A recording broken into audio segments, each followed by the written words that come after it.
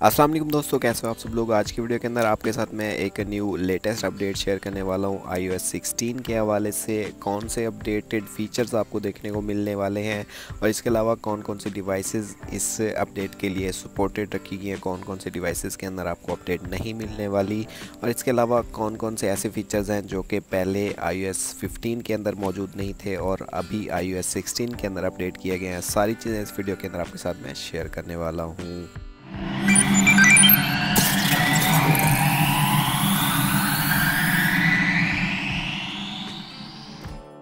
तो दोस्तों, अगर सबसे पहले बात कर ली जाए आई ओ के हवाले से तो यहाँ पे W W D C two thousand twenty two conference के अंदर अपडेट कर दिया गया है कि आपको आई ओ की बहुत जल्द अपडेट देखने को मिलने वाली है। सबसे पहले बीटा अपडेट्स आएँगी, उसके बाद आईफोन 14 सीरीज़ के साथ आई ओ को भी लॉन्च किया जाएगा सेप्टेम्बर या फिर अक्टूबर के अंदर आई ओ को फाइनली अवेलेबल कर दिया जाएगा तमाम डिवाइसेस के लिए। और कौन कौन सी डिवाइसेस हैं, वो आपको इस वीडियो के अंदर आगे चल के पता लगने वाली हैं। इसके अलावा बात कर लें, अब यहाँ पे सवाल पैदा होता है कि आपने आई एस सिक्सटीन को कैसे डाउनलोड करना है? तो आई एस सिक्सटीन को अभी आप प्रॉपरली डाउनलोड नहीं कर सकते जब तक इसकी जो है अपडेट अवेलेबल नहीं कर दी जाती सॉफ्टवेयर अपडेट और अभी जो है बीटा वर्जन स्टार्ट हो जाएँगे। अगर आप बीटा वर्जन लेना चाहते हैं तो आप मेंबर बन सकते हैं एप्पल डिवेलपर प्रोग्राम के अंदर। आप मेंबर कैसे बनेंगे? पे करना पड़ेगा आपको। अगर आप पे नहीं करना चाहते तो आप इस अपडेट का वेट करें। सेप्टेम्बर या फिर अक्टूबर के अंदर इसको ऑफिशियली सॉफ्टवेयर अपडेट के ज़रिए डिवाइसेस के अंदर अवेलेबल कर दिया जाएगा। तो फ़िलहाल जो है आप आई ओ का जो है टेस्ट नहीं ले सकते न्यू फीचर्स का तो थोड़ा सा आपको वेट करना पड़ेगा। इसके अलावा बात कर लें, यहाँ पे न्यू फीचर्स के हवाले से तो डब्ल्यू डब्ल्यू इवेंट के अंदर काफ़ी ज़्यादा न्यू फीचर्स यहाँ पर शो ऑफ़ किए गए हैं। तो इसके हवाले से मैं आपको बताता हूँ कि यहाँ पर कौन कौन से न्यू फीचर्स डाले गए सबसे पहले लॉक स्क्रीन के हवाले से बात कर ली जाए तो यहाँ पे कस्टमाइजेबल लॉक स्क्रीन आपको देखने को मिल जाएगा, जिसके अंदर आप अपनी मर्ज़ी से चीज़ें सेट आउट कर सकेंगे।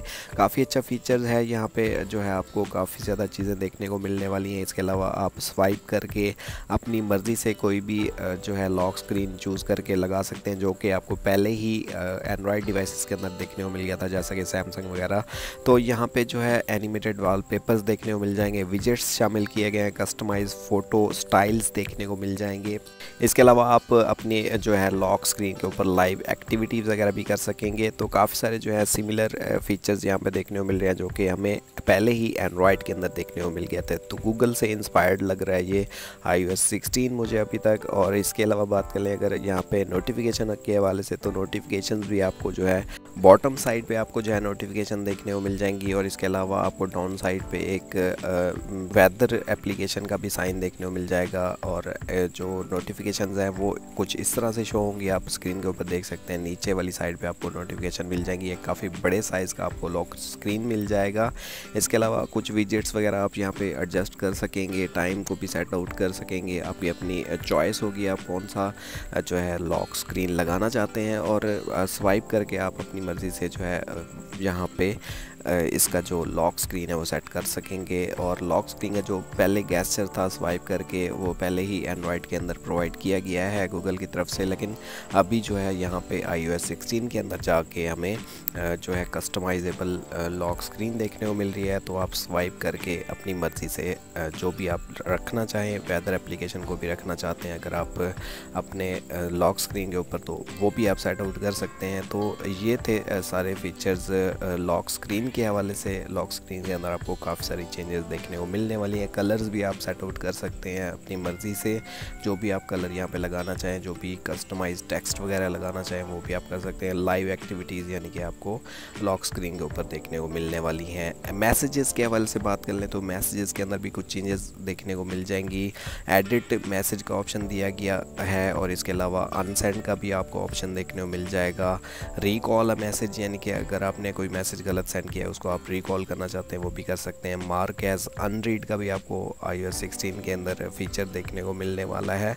तो आप कुछ इस तरह से लॉन्ग प्रेस करके अपने टेक्स्ट मैसेज को एडिट भी कर सकते हैं। इसके अलावा अनसेंड भी कर सकते हैं और अनडू सेंड वाला ऑप्शन आपको यहाँ पे देखने को मिल जाएगा। जैसे कि आप यहाँ पे स्क्रीन के ऊपर देख सकते हैं कि कुछ चेंजेस वगैरह आपको देखने को मिलने वाली हैं। इसके अलावा बात कर लें, हम यहाँ पे कुछ डिक्टेशंस वगैरह की तो आपको टेक्स्ट के अंदर डिक्टेशंस देखने को मिल जाएँगी। कीबोर्ड कीबोर्ड के अंदर कुछ डिक्टेशन मिल जाएँगी इनपुट टाइप्स होंगी पंक्चुएशंस होंगी ऑटोमेटिकली आप सेट आउट कर सकेंगे। इसके अलावा लाइव टेक्स्ट का ऑप्शन देखने को मिल जाएगा, जो कि बेसिकली वीडियोस के अंदर शो हो जाएगा और आप फ्रेम बाय फ्रेम इसको पॉज करके कॉपी टेक्स्ट वगैरह कर सकेंगे और मल्टी के अंदर आपको ये चीज़ें, काफ़ी ज़्यादा यूज़फुल देखने को मिलने वाली हैं। तो दोस्तों, अगर बात कर ली जाए विजुअल लुकअप के हवाले से तो 2021 के अंदर कैमरा ऐप्स के अंदर हम रिसर्च ऑब्जेक्ट्स को रिसर्च कर सकते थे या फिर आइडेंटिफाई भी कर सकते थे। अभी यहाँ पे आई ओ के ज़रिए आप आइसोलेटेड ऑब्जेक्ट्स ऐड कर सकते हैं। किसी भी इमेज से आप कोई भी ऑब्जेक्ट उठा के सेंड भी कर सकते हैं या फिर किसी भी जगह पर पे पेस्ट करना चाहें तो आप उसको पेस्ट भी कर सकते हैं। तो आप यहाँ पर स्क्रीन के ऊपर देख सकते हैं, किसी भी पिक्चर से आप किसी भी चीज़ को उठा के सेंड भी कर सकते हैं या फिर आप उसको एडिट करना चाहें या फिर कहीं भी किसी भी स्क्रीन पे लगाना चाहें और वो आप इजीली लगा सकेंगे। हम अगर बात करें यहाँ पे वैलेट के हवाले से तो वैलेट के अंदर कुछ आईडी वेरिफिकेशन का जो न्यू फीचर ऐड किया गया है, वो काफ़ी यूज़फुल देखने को मिल जाएगा। पहले आपको आईडी वेरिफिकेशन वाला ऑप्शन नहीं देखने को मिल गया था।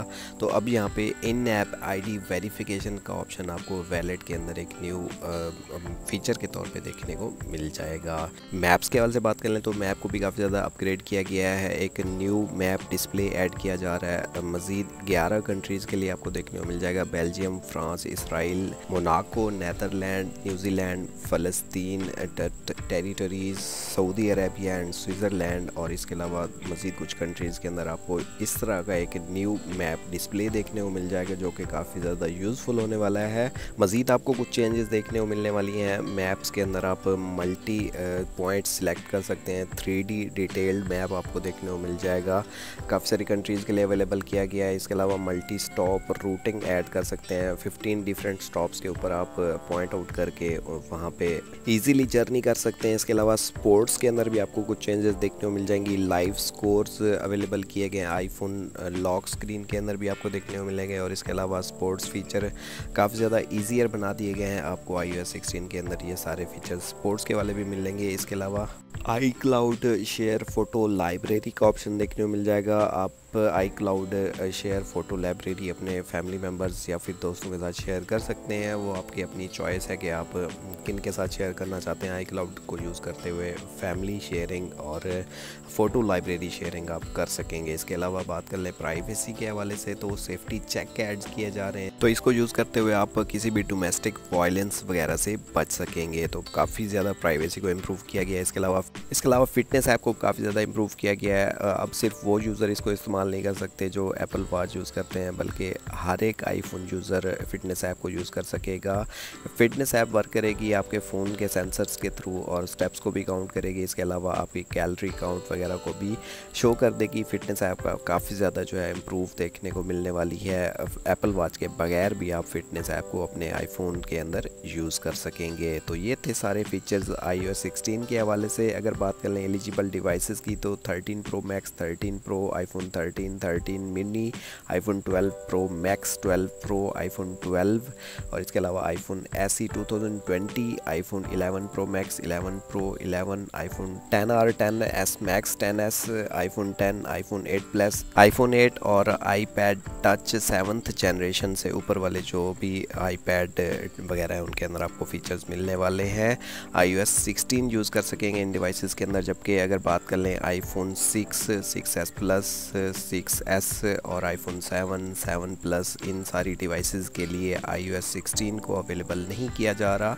तो अभी तक जो है, यही न्यूज़ निकल के आ रही है। आईफोन सेवन को इंक्लूड नहीं किया गया सेवन प्लस भी इंक्लूड नहीं किया गया, जबकि आईफोन एट और उससे ऊपर वाली जो भी तमाम डिवाइसेस हैं, उनके अंदर आपको आई ओ एस सिक्सटीन की अपडेट मिलने वाली है। तो शॉर्टली अगर यहाँ पर रिव्यू कर लिया जाए तो न्यू लॉक स्क्रीन अपडेट्स मिलेंगी बेटर नोटिफिकेशंस मिल जाएँगी अपडेटेड फोकस कस्टमाइजेशन आपको देखने को मिलेगी आई सिक्सटीन के अंदर इन्हेंस्ड मैसेजेस और आप एडिट अंडो भी कर सकेंगे मैसेजेस को। इसके अलावा बेटर शेयर प्ले देखने को मिलेगा इन्हेंस्ड डिक्टेशन आपको देखने को मिलेगी लाइव टेक्स्ट वीडियो के अंदर देखने को मिल जाएँगे क्विक एक्शंस आपको देखने को मिलेंगे अपग्रेडेड विजुअल लुकअप मिलेगा अपग्रेडेड वैलेट और एप्पल पे और सिक्योरिटी काफ़ी ज़्यादा आपको देखने को मिलने वाली है। अच्छी और ये थे सारे फीचर्स आई आई सिक्सटीन के नेक्स्ट मंथ से ही आपको बीटा वर्जन मिलना स्टार्ट हो जाएँगे। उसके बाद I O S sixteen finally सितंबर या फिर अक्टूबर के अंदर अवेलेबल कर दिया जाएगा। तो ये थी आज की वीडियो उम्मीद करता हूँ आपको यूज़फुल लगी होगी। वीडियो को लाइक कर दें, अपने दोस्तों के साथ शेयर कर दें। चैनल को ज़रूर सब्सक्राइब कर लें। आपको इस तरह की वीडियोज़ मेरे चैनल पर ज़रूर देखने को मिलेंगी। और कोई भी क्वेश्चन करना हो तो आप मुझसे कॉमेंट सेक्शन के अंदर पूछ सकते हैं। मिलते हैं किसी नई वीडियो में। नए topic unboxing tech reviews tech update smart watch comparison के साथ मुझे दीजिए इजाज़त। अपना ख्याल रखिएगा। अल्लाह निगेबान।